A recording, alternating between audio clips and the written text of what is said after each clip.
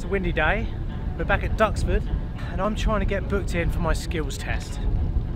But before we do that, let's pop into this lovely hangar here, this World War One vintage hangar. Let me just talk you through the last few lessons that I've had preparing for this milestone in my life.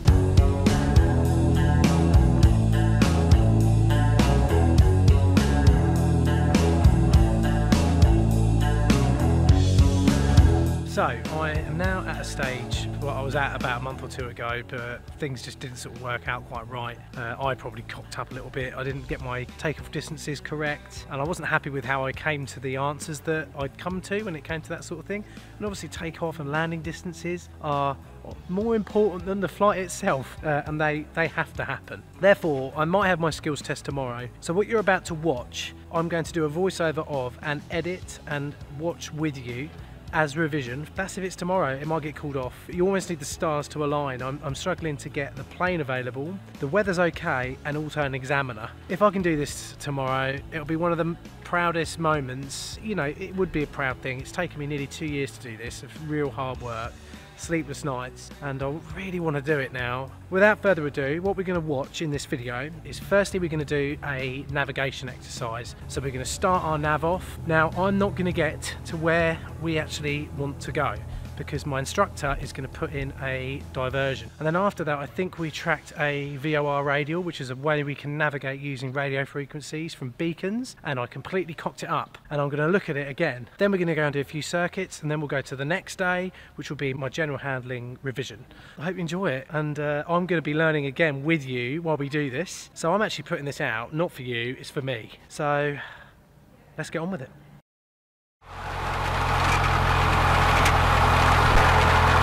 Wing 20 holding Alpha, ready for departure. So we're flying a route from Duxford all the way to Old Buckenham and then down to a old abandoned aerodrome called Birch, over to Wratting Common and then back down to Duxford again. But you never ever get to go that far. Also, I'll explain where we actually start our nav because it's actually on this little wind farm here. So we've done all our takeoff calculations and we've done all that up in the in the tower. So I don't really want to take you through all that.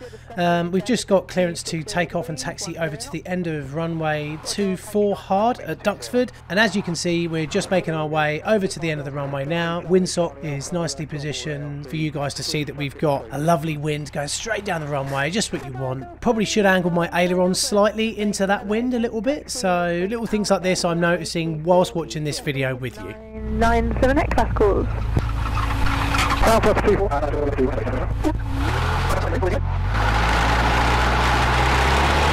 At this point, if we take notice of the instrument camera, I'll be looking at the cluster just to my left, which is going to be our airspeed. You can see that pin rising now, which is when I say airspeed live. Once we hit about 55 to 60 knots airspeed, that's when we can rotate, which is when we pull back on the stick uh, create lift over the wing and get the aeroplane up into the sky. All along at this particular point as well, you can see a rectangular cluster of instruments in front of Jeremy. They are our engine T's and P's, so temperatures and pressures. Keep an eye on them, especially during takeoff, but all the way through the flight. German Golf Delta Engine November Sierra Dutch Information. Uh, follow the Spitfire Okay, I'm just going to do a remembered kind of memnomic checklist that we do just after we've taken off. And also, if you listen carefully, you'll hear that we get a new QNH altimeter setting, which I don't tend to write down anymore. I just pop it straight into the altimeter and read back the setting to whichever air traffic controller has given it to us. LIS doing on lift now, so lights off. Instruments all good. Yeah, these instruments, they're the ones, definitely flaps. Flaps are up. Crossing 20 QNH 1002. QNH 1002, Classic Wings 20. Blown around a bit. So I'm just having a look under my wing now to turn on my crosswind leg um, usually if we were staying in the circuit we'd keep our altitude at about a thousand feet but because we're actually going out on a nav we're going to constantly keep climbing. As you can see now on the altimeter we are about 1,300 feet coming through that now and we're just on the crosswind leg and then we'll turn on our downwind leg and we'll keep on climbing all the way up. Jeremy's going to ask me where I'm going to be climbing up to, and the idea is to get up to altitude as soon as you can, then get the plane trimmed out and just make sure that everything is okay. Make sure that your engine's fine, make sure TMPs are okay, make sure everything's normal, make sure the radio's set up, and get ready basically for the first turning point on your nav. Right, going to climb up to 2,500. Uh, clouds are permitting. Every 500 feet throughout our ascent up to our planned altitude, which is 2,500 feet, but might turn out to be less when we find out what the exact cloud base is, I'll dip the nose down just to have a look in front of us and make sure there's nothing in our way. Once we get to the end of our ascent or where we think we're happy with our altitude, we should be able to put the nose down and see on the nose our wind farm up ahead.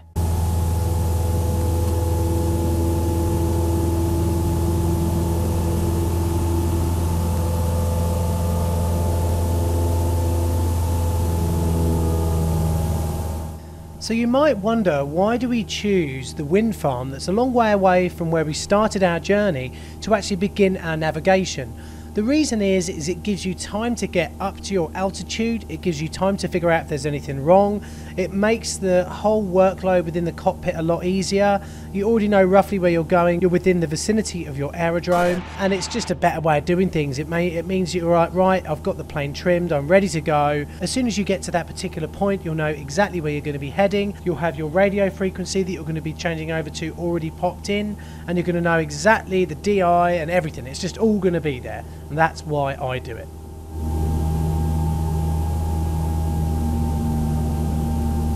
Just information, request frequency change to Lakenheath on 128.900. That's wings 20. That's 20, Roger, call and rejoin. Roger, that's wings 20.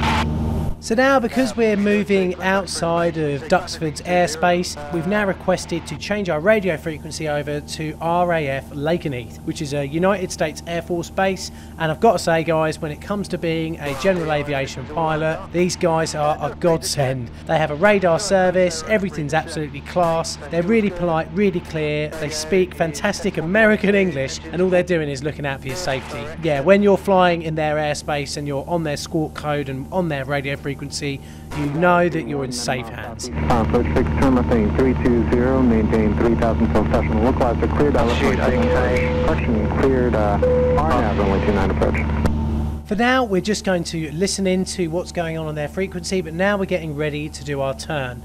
So I'm going to do what's called a gross error check, meaning why is that city there when it shouldn't be there? What's the heading going to be? Heading is going to be 051. Back. Uh, roughly what we're on now, actually. and also make sure of my heading and then get ready to do the turn, time when we do the turn, and then we know how long the leg is going to be. Navigation is about getting all these little things right, in order, and just making sure you're happy with where you are and where you're going.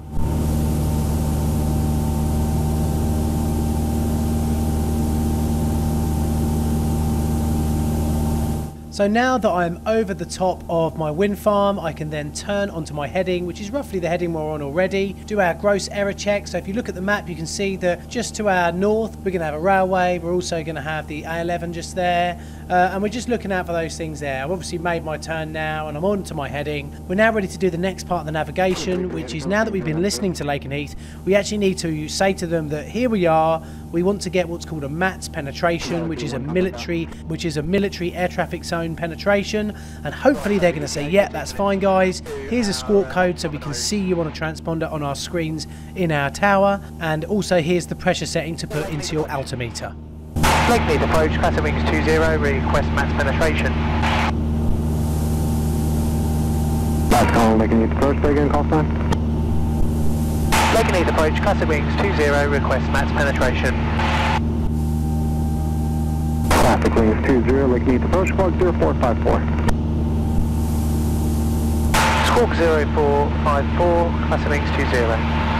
I always find this bit a little bit difficult. You have to turn your transponder to standby, put in the value squawk code that they've asked you to put in, and then pop it back onto out again, and then just wait for them to come back to you. Radar contact 1 8 miles southwest of lake Lakenheath, QNH 1000, and basic service. MATZ penetration approved. QNH 1000, MATZ penetration approved. 2 BOB, Duxford to Duxford, uh, for navigation out to the east near Honington, Classic Wings 20. Decimal 1. Classic Wings 20, roger. Be advised there are several KC-135s in the visual and radar pattern at Mildenhall. Roger, we'll keep an eye out, Classic Wings 20. So now the guys at Lakenheath can see where we are because of our Squawk code transponder setting. They're looking out and telling us about traffic that might conflict with us. Copy, Metro, copy. Classic Wings 20, traffic 10 o'clock, 6 miles southbound is uh, light 6 wing 2100. Roger, we don't have visual, Classic Wings 20. Please.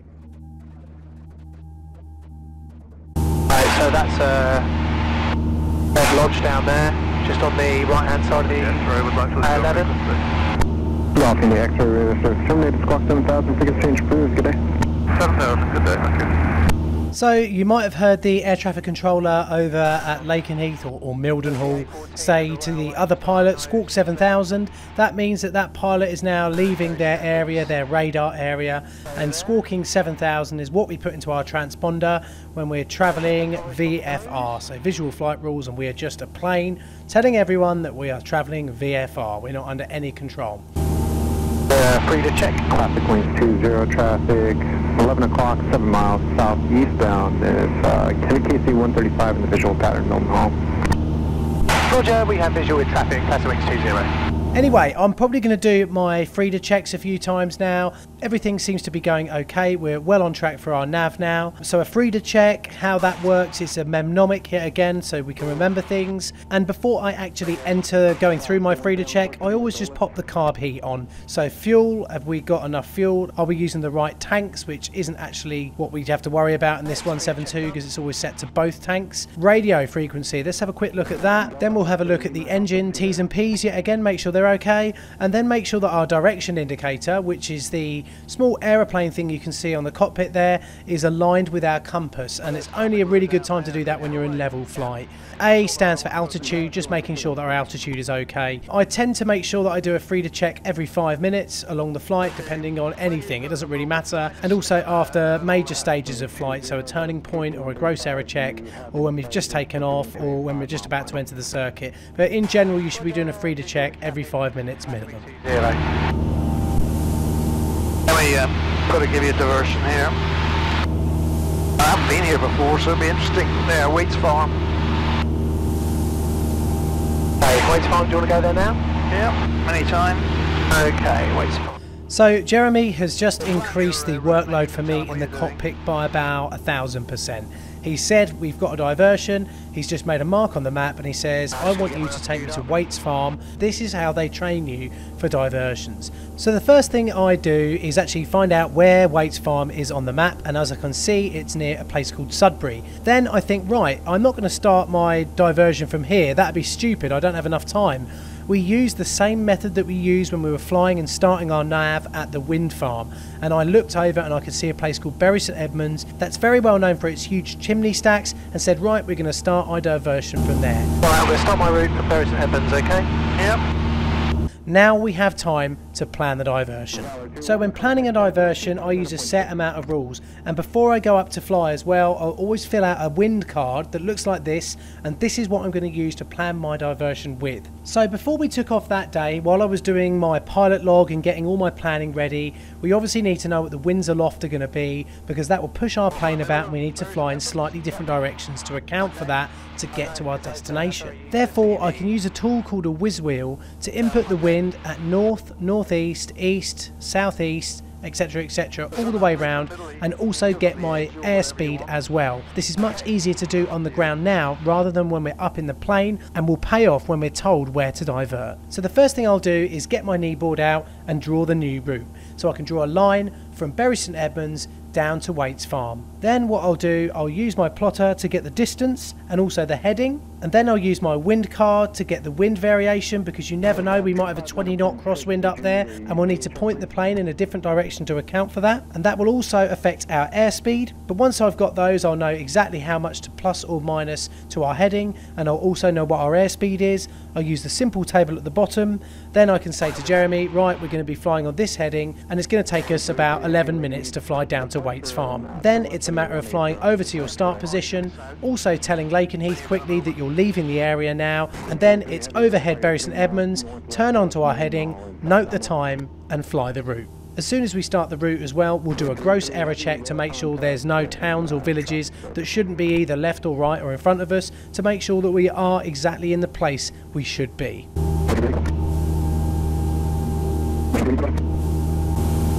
Lakenheath approach, Wings 20, just departing to the south via Bury St Edmunds. Classic 20, roger, radar service terminated, squawk 7000, free exchange for good day, sir. Squawk 7000, Classic Wings 20.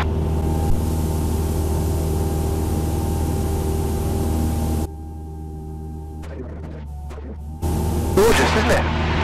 That's a nice town. Have you been there? Bury St Edmunds? Yeah. Oh, it's lovely.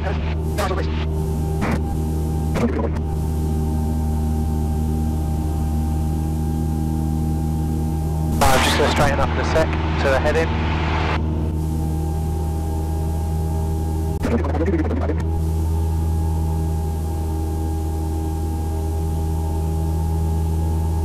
Right, gross error check. Opera should be somewhere down there. Can't see it though.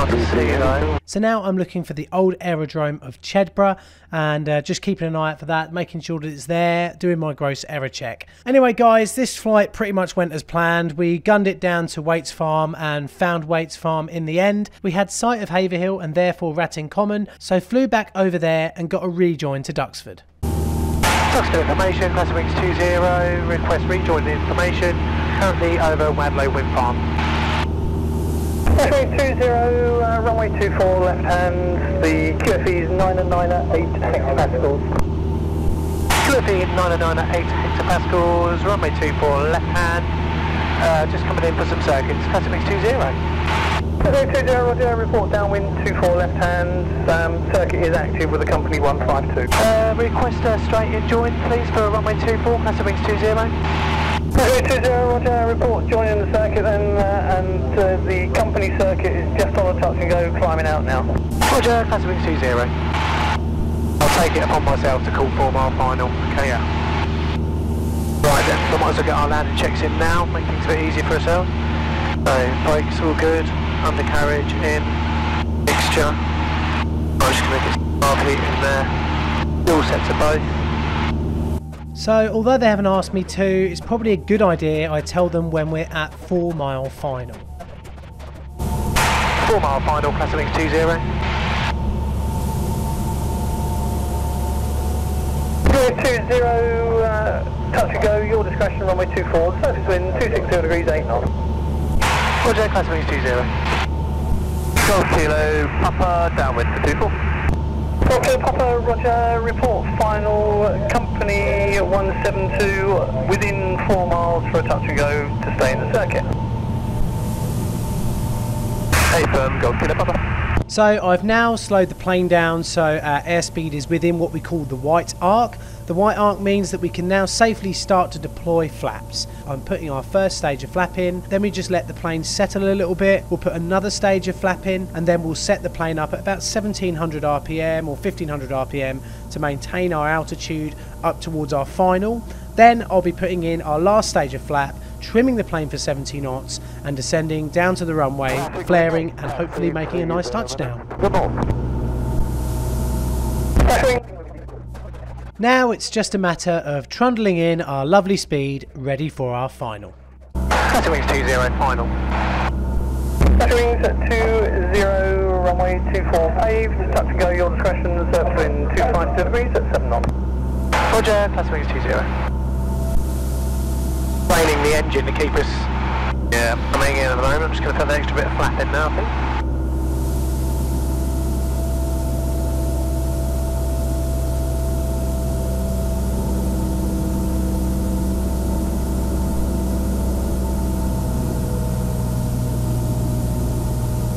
Knots. So now that I've got full flap deployed, it's basically a matter of now of using the nose down or nose up attitude to keep a 70 knot airspeed. Also remember that the airspeed indicator is the inner small gauge that you can see. It looks like at the moment it's pointed at 80 but that's actually 80 miles an hour. If you have a look on the inside you'll see it's sitting right on 70. Once we're stabilised at a 70 knot speed approach we can then use the revs of the engine to arrest our descent or increase our descent and effectively aim the plane either nearer or further down the runway. Yeah, approach is clear. A stable, stable, stable. Approach. We're, we're, we're a good, we're a good approach. LMP. Yeah, permission. Yeah, that's it.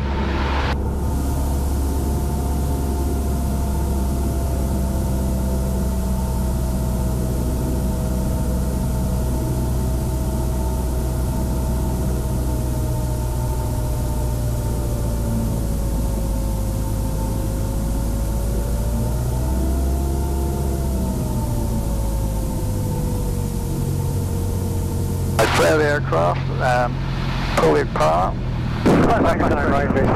That's not enough back pressure. Not enough back pressure yet. final for the grass. Uh, the company 172 on the runway on a touch and go, and the 152 on final for a touch and go.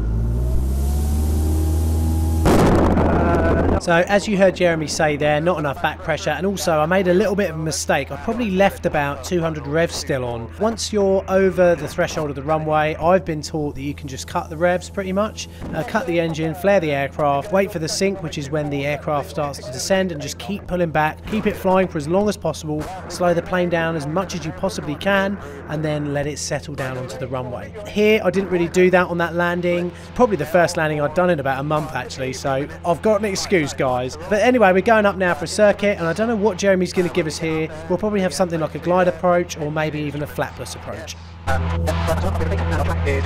We're now ascending up to circuit height of hopefully about a thousand feet. Whilst doing that, we're going to turn our base leg and then also turn onto our downwind leg, which is effectively us flying backwards parallel about a kilometre away from the runway. Once I'm established on the downwind, I've then got a little bit of time to do all my landing checks. Brakes, undercarriage, mixture, carb heat out for a moment, fuel on both, engine is okay, direction needs a bit of fixing. Uh, okay, altitude 1000 feet.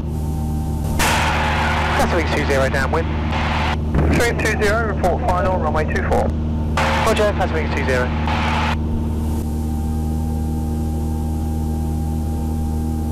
What is that factory that means any? What's up? The factory down there that needs to be no-tabbed, isn't it? Not a factory. I think down there. Yeah. That's a that's a gas venting station. It fires up. It's basically methane gas. You know, letting off methane every so often.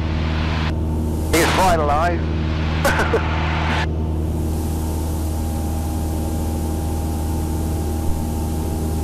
I've only, I think I've only twice actually been activated. But you have to, you have to avoid it anyway. I do love a little chit chat with Jeremy about bits and pieces and all that sort of stuff. And it's nice now to be at a point where I quite happily fly a circuit and have a little chat and all that. Anyway, what we're doing now is effectively what we did when we were coming in from 4 mile final. We're slowing the plane down, we're getting that airspeed pin into the white arc. So you'll see it's now in the white arc, so now we can pop up the first stage of flapping. We're going to let the plane settle a little bit after we've done that.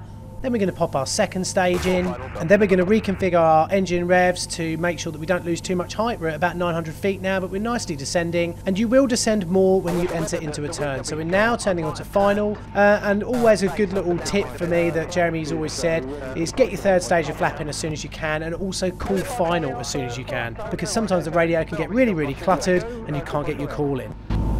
Right, this is a bit touch and go. That's wings 20 final for touch and go, runway 24. Flat wings 20, runway 24, touch and go, your discretion, surface wind 250 degrees, 9 knots. Roger, Plaza wings 20. Yeah, more back pressure at the end. Uh, as you, after you've flared, wait a wee, a couple of seconds. If you feel the sink, then apply back pressure.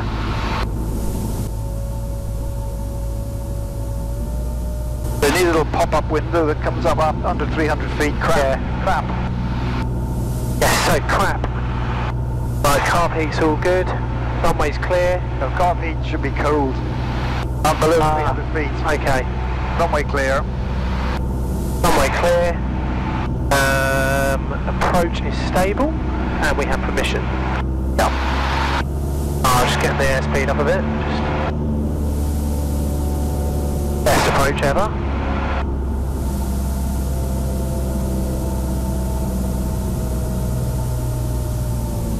Twelve hundred.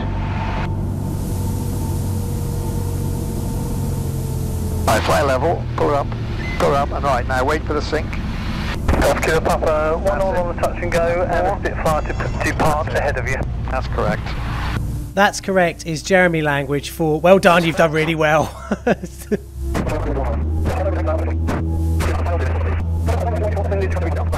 So now we take off yet again. We retract all our flap when we take off from the hard at Duxford because you've got such a long runway. It's lovely. And then we're going to go back up into the circuit and go round. And Jeremy this time wants me to do a grass landing. What you're about to see is not the best grass landing, I'm afraid, but it's something for me to learn from while I'm watching it with you. Also, landing on the grass is a bit of a trick on the eye because you haven't got as much on the ground when you're coming into land to show you how far off the ground you are. So you'll see us flare quite nicely here, but then we'll also come in for a slightly hard touchdown. And then afterwards as well, when we were on, I guess what you'd call our go around roll, I forgot to retract the flaps to 10 degrees, which is what we do when we're doing a short field grass takeoff.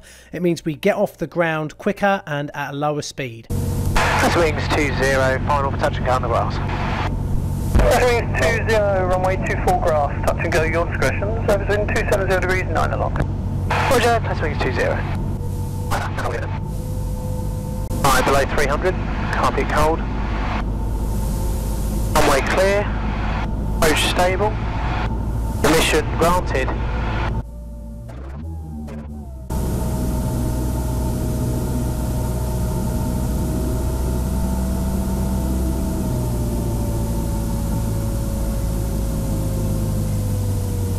Pull up, pull up, and keep pulling up.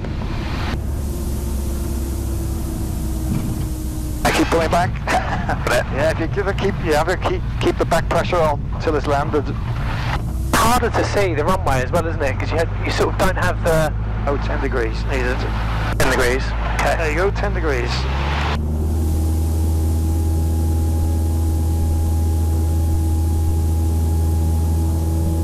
Yeah, weight off the front wheel.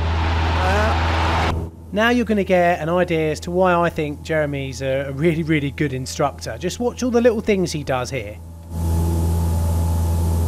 Yeah, you, I mean, I think all three of the approaches have been a little bit low.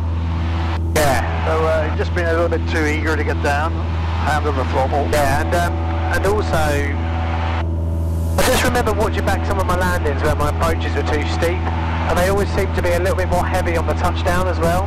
So I thought, oh, I'll come in a bit shallower and sort of like have a nicer sort of approach. But anyway, uh, lights are off. Uh, instruments all good up there. Our track right, quite right there.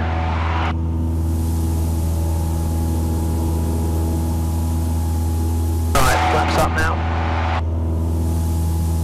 Yeah, pull up as you do, keep flaps Yeah. up.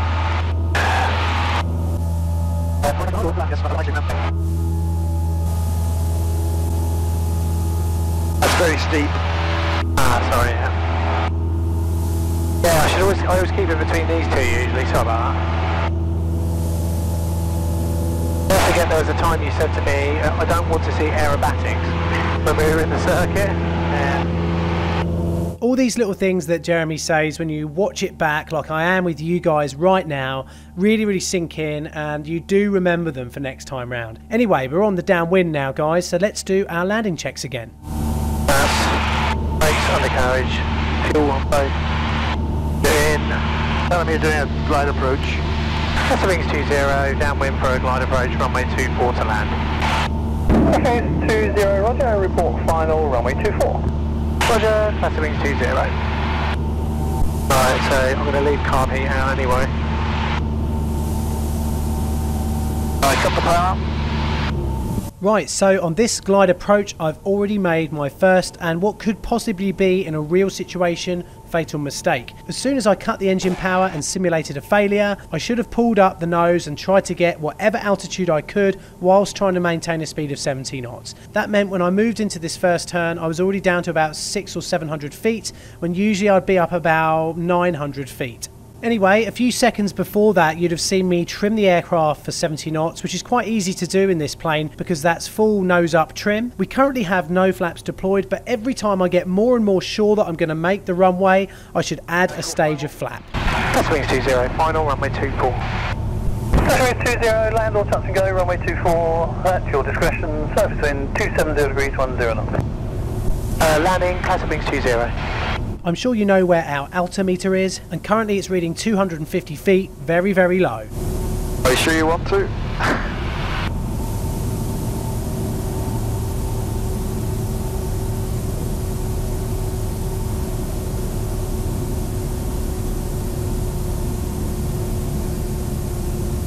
Go around if you want to as well. Yeah. I think I'd have got that actually. Yeah. A little bit tight though. That's wings 20 going round. Runway 20, roger, report downwind, left hand. Roger, class wings 20.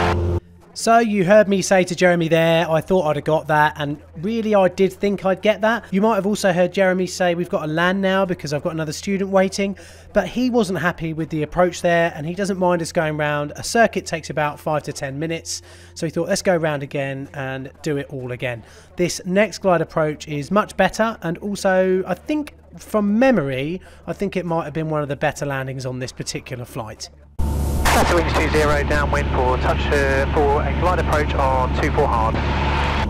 Classic wings 20, report final for 24 hard.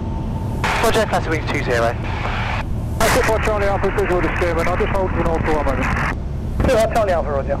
Dental turn as well.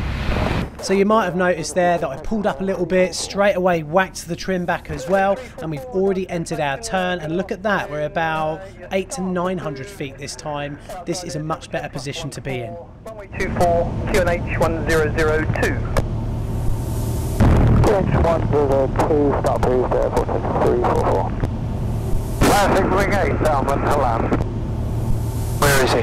Classic wings 8, Uh, doesn't matter, we're, we're So my airspeed's a bit high here, but I'm happy for that, and I'm quite pleased that I'm going to make the runway now. So I'm just putting my first stage of flapping, flying on a bit, and I'm I'm obviously now even more sure we're going to make the runway because I've put a second stage of flapping. I'm just going to quickly call final. Classic wings 20 final for 24 hard. And we're just turning our final now and I'm just putting that last stage of flap in just in this turn. And this is when glide approaches are really good fun. You're over the top of the runway.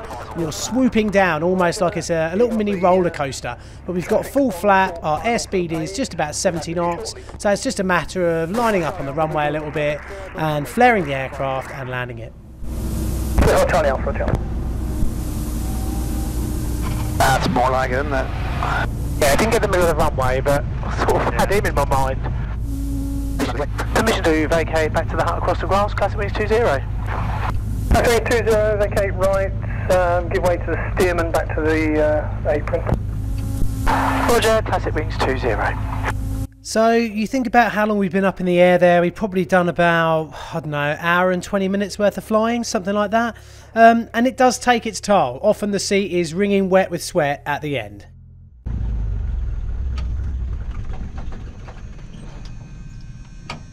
After we've shut down the aircraft, we'll often pop back up into the old historical World War II control tower of Duxford for a cup of tea and a bit of a debrief. Right, so I hope you enjoyed that first part of the uh, lesson. That was probably an hour and a half lesson there.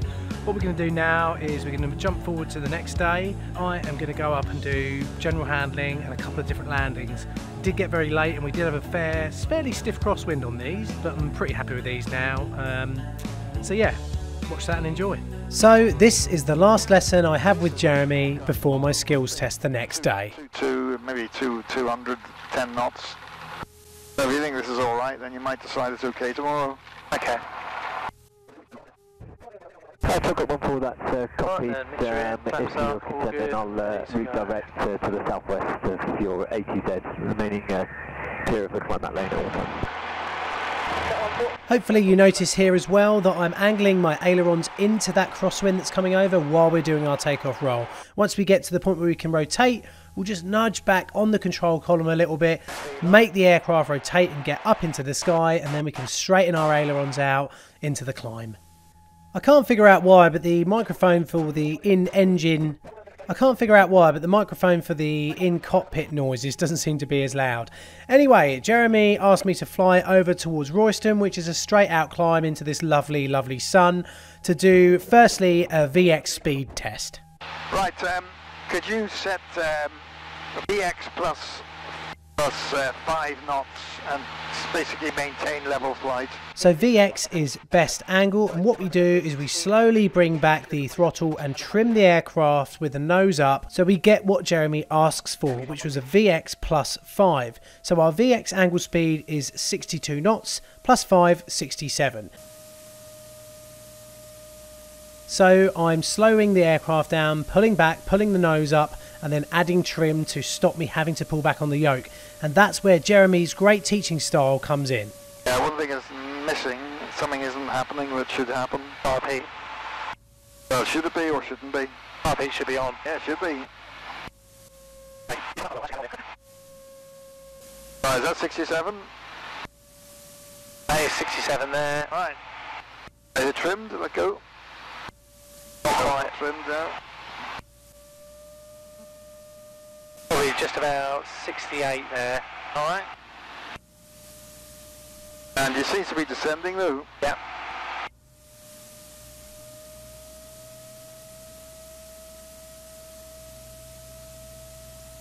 Oh, that's all the trim I can give it. Right. And that stopped it up. That's it. So 1800 RPM. 1800 RPM, full trim. Is the right.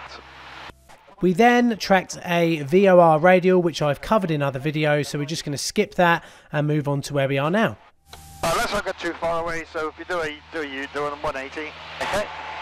And if you climb up to 3000 as well, we do some stall recovery. Okay.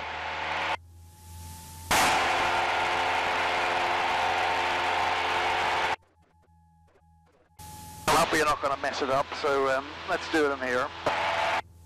You could uh, show me a uh, stall recovery with a clean wing, level level wing, um, power back to idle. Yeah, just going to get trimmed out. Settle for a minute.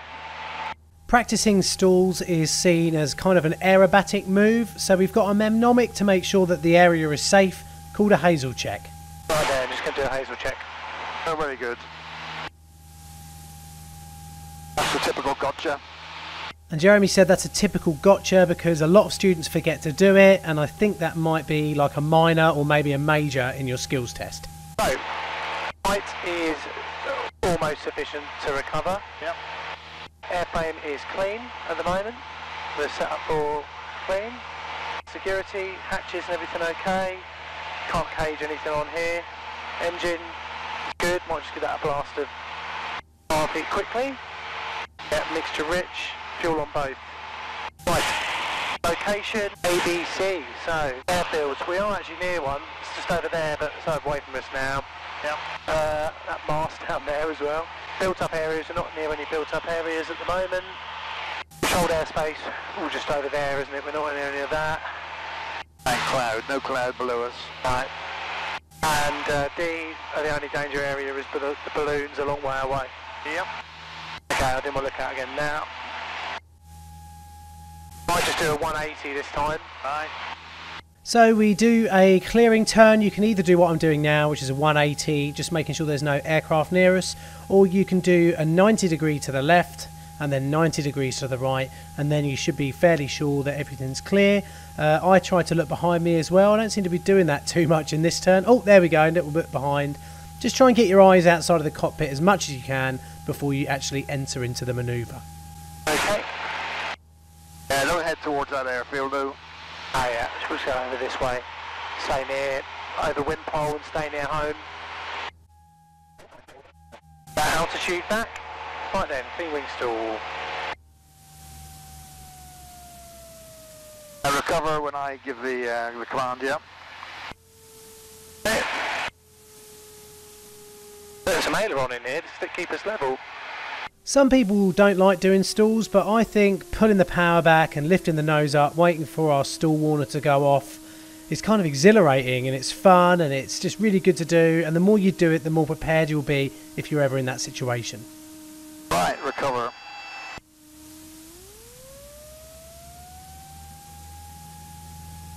Jeremy was also testing my ability to counteract a wing drop, which could also enter a spin, and I was hovering over the rudders ready for that as well.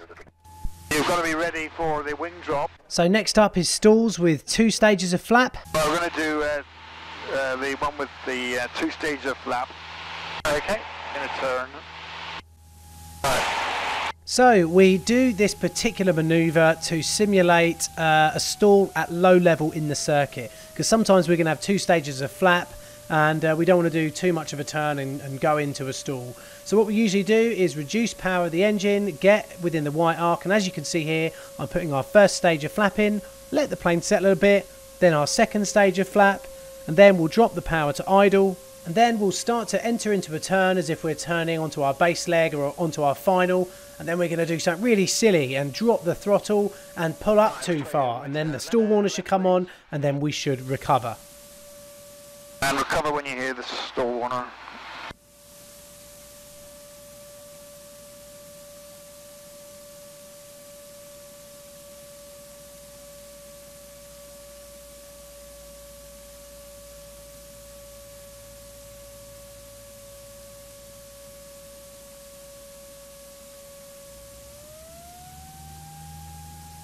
I don't know why, but the stall warner's not coming through the microphone, but hey ho, believe me, it went. Speed above 70.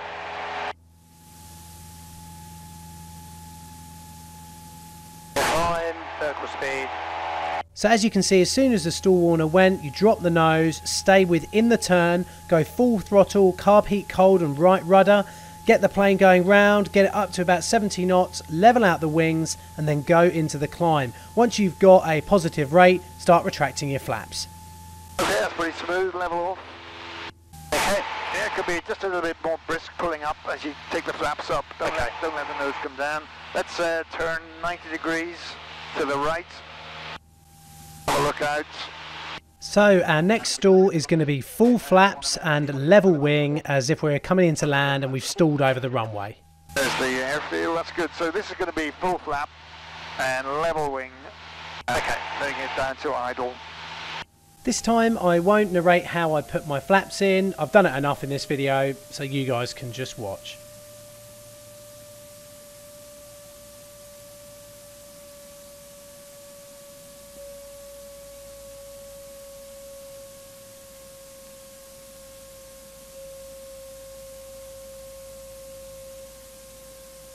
And you, uh, you're going to recover on the first sign of the stall, which is the stall warner.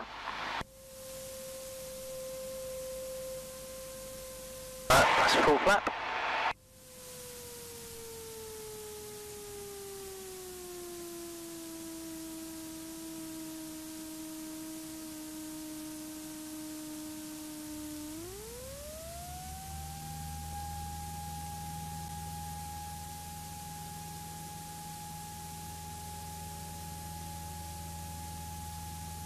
Right, well that was a wee bit untidy. Yeah, a bit bouncy just there, so you could hear it on the stall warner, couldn't you? Yeah, sort so- of flopped a bit.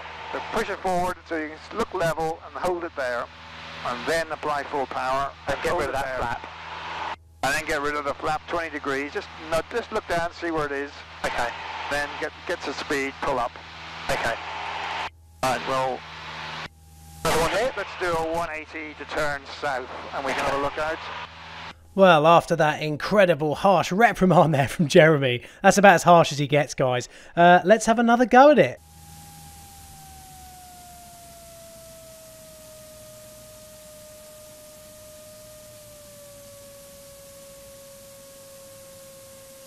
Again, recover when you hear the stall warner.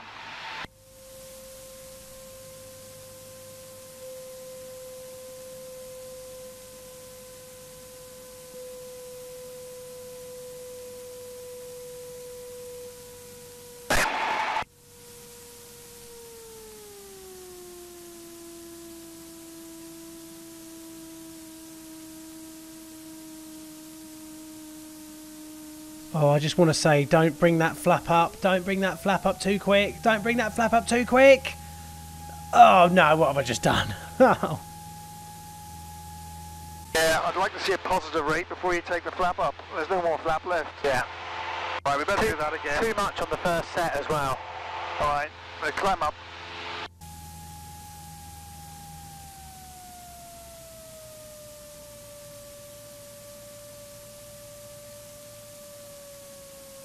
Uh, let me try to climb away, I'll try.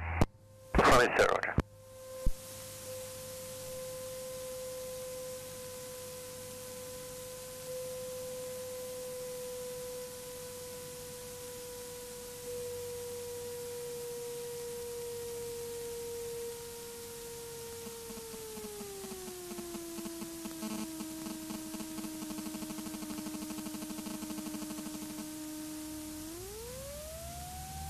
Go on, Jim. Wait for a positive rate. Wait for a positive rate. And if you look, guys, the VSI is that indicator that we're just pointing now. VSI stands for Vertical Speed Indicator and tells us whether we're climbing or descending or flying level.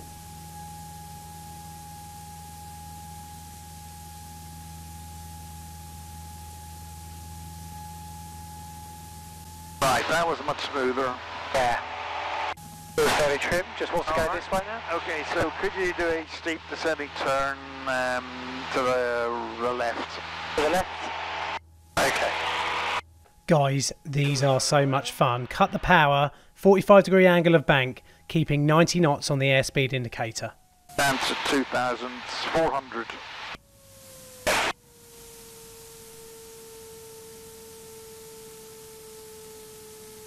Two thousand four hundred Feet. We practice this maneuver just in case we ever have maybe an engine fire or something like that, and we need to get down to an area where we can plan a landing as soon as possible.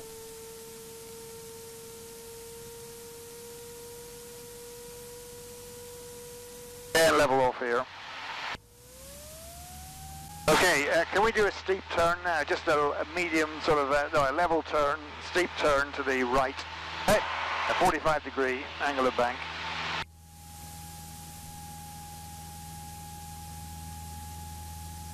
So hopefully you're doing what I'm doing here and you're making sure that our VSI stays in the middle where it is now, pointing at zero. We've added another 100 RPM to our engine speed to keep us level as we go through this steep banking turn. Remember to put that extra 100 RPM in. That's right. And if you roll out on the east,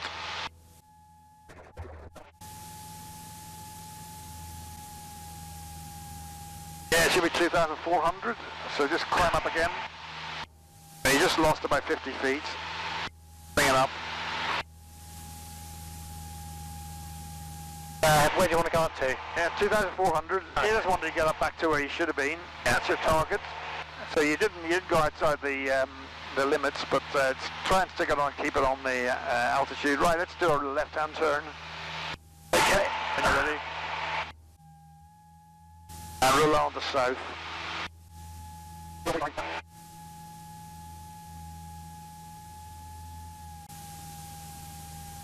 Yep, you stayed just about inside the limit again. Went a bit up that time, didn't I? It did. Overcorrected it a bit.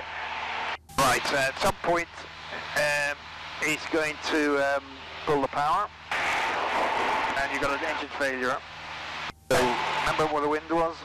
Uh, 180. Alright. So now we're doing a practice force landing. First thing we do as soon as he pulls the power is trim for 70 knots. That's full back trim on here. And then we are actually going to turn so we're downwind. It's almost like we're on a circuit back at our home aerodrome. And we're going to start looking out of the window. Once we've established our downwind, we're going to look out of the window for nice sort of fields that are pointing into the wind, that are green and not ploughed up. I lose too much height getting onto the downwind. Uh, well, you can't overbank either. and that we can try and get into. Once we've done that and planned our descent, we can try and restart the engine.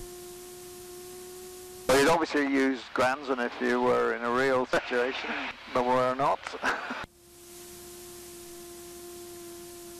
now, where's it going to be? Alright, we're gonna go for that field there, diagonally across it, okay? So we're quite, we're quite near it, Yep. okay? Okay, With the trees one. at the end. Yep. Right, okay, so Mixture, fuel. That fuel's on there, carb heat cold. Hot, in, hot sorry. Too far away from that. Magnetos, electrics, primers in. Hey, nothing. Mayday, mayday, mayday. Duxford information, Classic Wings 20, have an engine failure to the west near Gransden.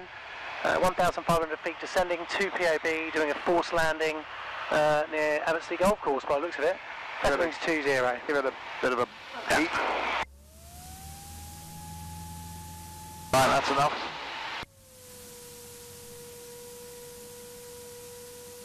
Uh, there is a pylon in there, but I think we'll miss that.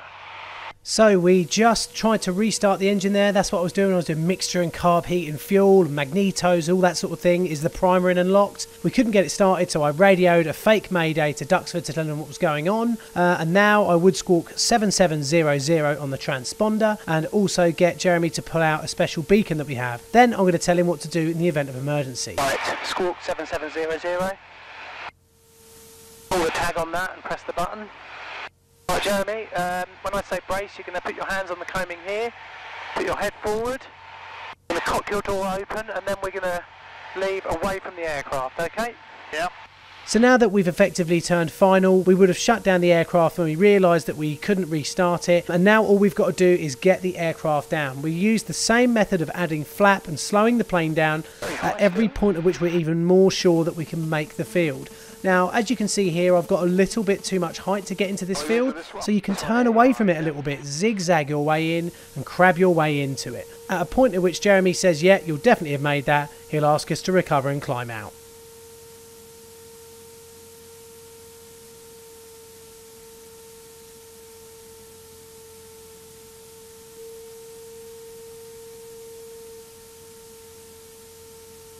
Right, 500 feet. Let's go around. That's looking good. A few minutes later, we were back at altitude and ready to do some IMC training. Now you can pretend you've uh, rendered everything out, and you've only got um, you can only see the instruments. Pop them on. I've got a control a moment. Yeah, control. Nice. You're going to transfer to instruments now. You're in. uh, You're in cloud. Okay, I want you to take appropriate action. okay. I'll do a lookout. What Jeremy means by appropriate action is entering a rate 1 turn and if you look at our turn coordinator you'll see that our left wingtip is touching that little dash in the instrument. A rate 1 turn should mean that we turn 180 degrees in 1 minute and if we turn 180 degrees and then level out straight going back out it means we're back out of the cloud and we are no longer in IMC conditions or so we can hope. Yep. Okay, you're out of cloud again. Just gained about 100 feet of You height did- now. you I did. did, I did take the revs off a little bit just to sort of allow it to sink, but Yeah. I should have taken a bit more off. Do you want to do another one? Yeah, go on, let's do another one. Do a right hand turn and don't climb 100 feet this time. So we did the whole maneuver again, and Jeremy said, Look, you've just got to take a deep breath. You're just being a bit tense on the control column. Um, and once we've done that, it, I managed to do really nice, neat rate one turn without losing too much or gaining too much altitude. Okay, that was useful, wasn't it? Yeah. So we now headed back to Duxford for some circuits. I was kind of happy that we'd done a lot of the things that I thought I needed brushing up on. And Jeremy was only putting us through these particular maneuvers on this lesson because I'd said that I wanted to get a little bit better at them. So we went back towards Royston. I whipped my pencil out, ready to take down the rejoin information. Thanks for the information. Classic Wings 20, request rejoin information. Currently 1,500 feet over Royston. Service 20, report downwind left hand 24, QFE 9 at 9 at 9 at hectopascals. QFE 9 at 9 at 9 hectopascals, report downwind for runway 24 left. That's Wing 20. I'll leave that on QNH. Yep. Often we've got about two or three minutes here when it's just looking out, keeping our altitude before we start descending down to circuit height. And I usually take this opportunity to have a little bit of a chat with Jeremy. So, during the week, Jeremy, what time do you usually get home? Seven? Seven. Yeah, and then, right. and then you're ba- back at about ten. The good thing about coming back from Royston for a downwind rejoin means that we can do our landing checks and configure our aircraft nice and early and keep workload and stress in the cockpit to a minimum. Cutter wings 20 downwind for a touch and go 24 hard. Service 20, report final. Report final and uh, can we have the wind on 24? Cutter wings 20. Service 20, surface wind 170 degrees 05 knots. Roger, cutter wings 20. Oh, that's definitely good. That's coming out right back. Well, he might have said that, but it did seem that up top we had a little bit more of a crosswind because our base leg really pushed us quite a long way over from the runway. So next time when I go round, I know that I'm going to elongate and swing out a little bit further to the right hand side if I'm on this particular circuit orientation to make sure that my base leg is longer. Therefore, I won't be off the end of the runway like we are just here. You'll soon see it. Cutter wings 20, final touch and go 24. Service 20, touch and go, your discretion 24, wind 1705. Roger, cutter wings 20. I always test my rudder on the way down. Four hundred. Too low, wasn't I, yesterday?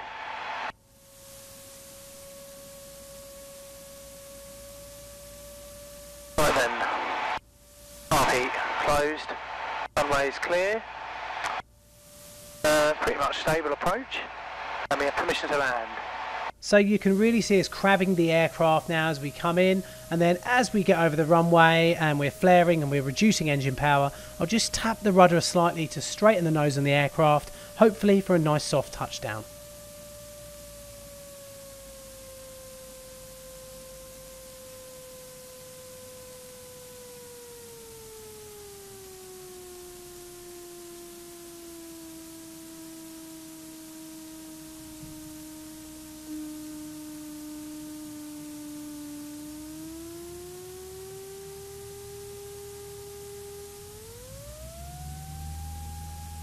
And in true instructor style, Jeremy is completely silent, which means I've just done a good landing.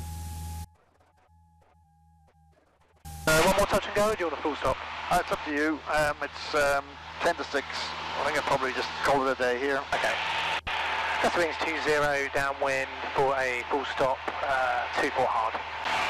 Service 20, report final. Roger, cutter wings 20. I mean, if it's a really strong wind, is there a lot to be said for getting a set flap in on the downwind leg? You, you can put, you could do, yeah, on the downwind. Because once we come round like this, we go at such a rate of knots, we really go like mad. Yeah, that's much better, and you can just, just turn turn on, Yeah. and you'll you'll be pushed onto onto the uh, the um, centre line. So I've extended out my base, so hopefully we should get a better lining up now on the centre line. Lights are coming on on the cars. Yep. Uh, in fact, the, the most lights are, on, of course, on the cars now these days. It used to be five years ago. There were no lights on until until darkness. That's a wings 20 final touch, uh, final 24 full stop. Service 20, land your discretion, runway 24, wind 170 degrees 05 knots. Roger, cutter wings 20. So a little bit of crabbing coming in yet again. Nothing wrong with that. We just got to make sure that we stay on the centre line. And like I said, when we get over the runway, just tap that rudder as well, straighten the aircraft up. Don't think I was that happy with this approach.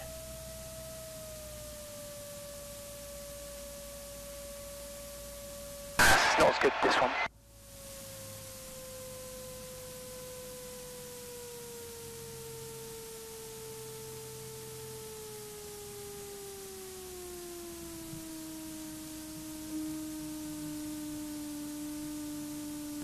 Permission to vacate to the hut across the grass, classic wings 20.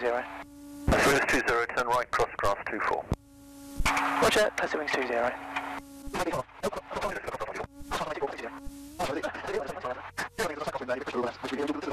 So there we go, guys. Not like everything that we do in a lesson. There are quite a lot of different tiny modules that you need to get sorted out. when you're doing your skills test, and as of yet, I haven't sorted them out and I haven't done my skills test yet. Blame the clouds.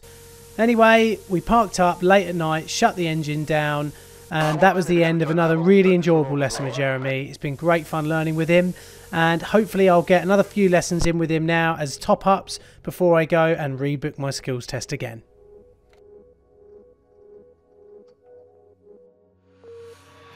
Right then guys, so thanks very much for watching.